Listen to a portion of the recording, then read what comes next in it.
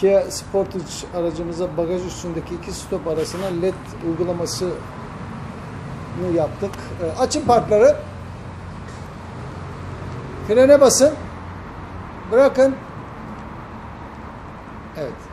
Frene bastığınızda da bir anim, animasyon yapıyor. Basın frene. Bırakın. Gayet güzel bir uygulama oldu. Arka stopları tamamlamış olduk böylece. Bu ürünü e, getiren arkadaşımızın aracılığıyla uyguladım. E, bu videodan sonra bu ürünü artık e, bizi telefonla ararsanız benim iş yerimde de bu ürünün satışını bulabilirsiniz.